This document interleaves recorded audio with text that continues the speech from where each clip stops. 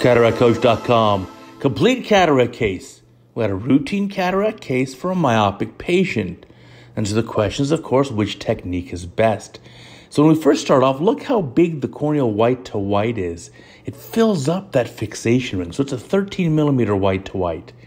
Some anesthetics being placed inside the eye, more squirted on the surface of the cornea as well.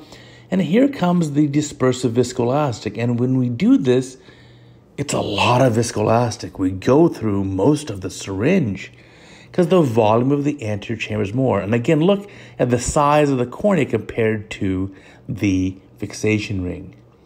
So now pass this diamond, create a nice incision here, and there it is entering the anterior chamber. That looks great. Now these myopic guys, of course, are our issues are a refractive outcome for the patient. The patient does not want to end up hyperopic, I'll tell you that for sure. And a very myopic patient erring on the side of myopia is actually a good thing.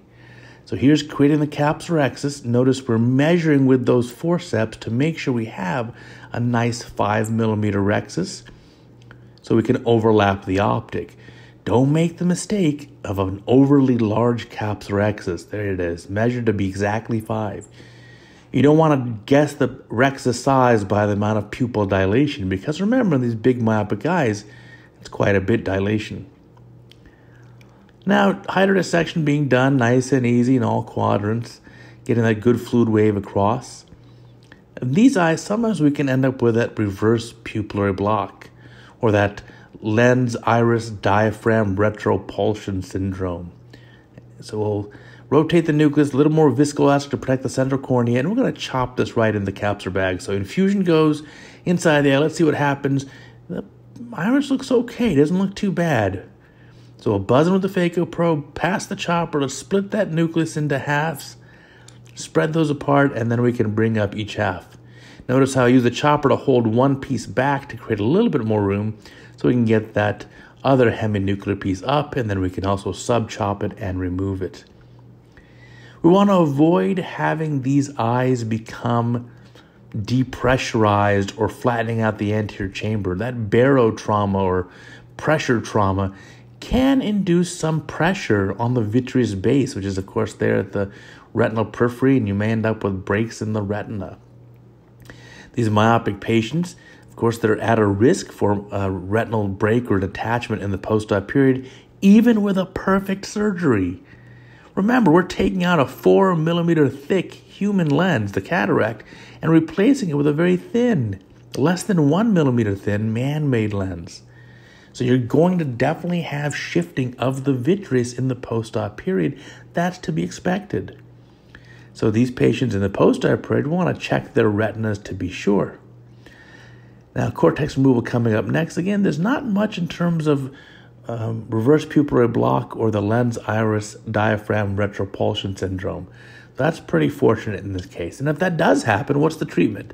Of course, it's just tenting up the iris temporarily to equilibrate the pressure between the anterior chamber and posterior chamber.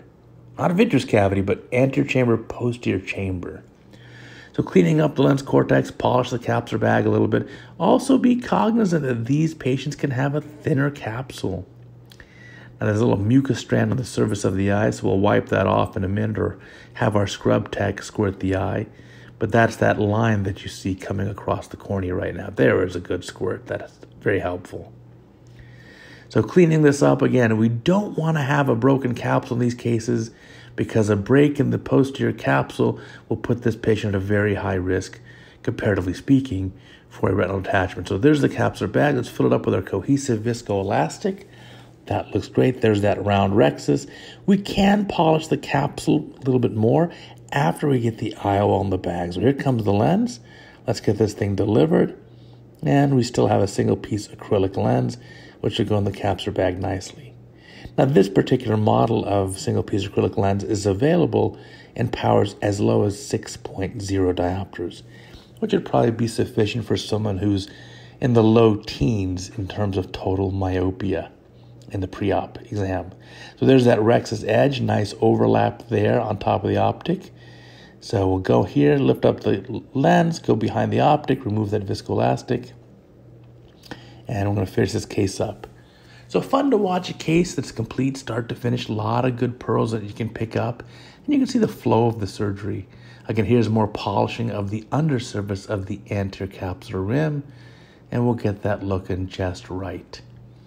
Also notice the incisions there, we've barely nicked the limbal vessels, so that's going to allow great long-term sealing and healing and stability. He, uh, hydrating up the incisions there, we'll go inside, let's do an angle sweep, make sure there's no retained viscoelastic. Also keep in mind these patients tend to be more likely to have a steroid response in the post-op period in terms of intraocular pressure spike, so we definitely don't want to have retained viscoelastic. There's a little bit of triamcinolone, which will stay in the anterior chamber just for a couple of days. We'll swirl that around with some BSS and then finally finish up here with a small aliquot of moxifloxacin as an antibiotic. There's the lens power, 11.5 diopter, so not terribly myopic. And then uh, we'll check the incisions. Here's the moxifloxacin. That's a beautiful case, and the patient, I can tell you, was happy the next day.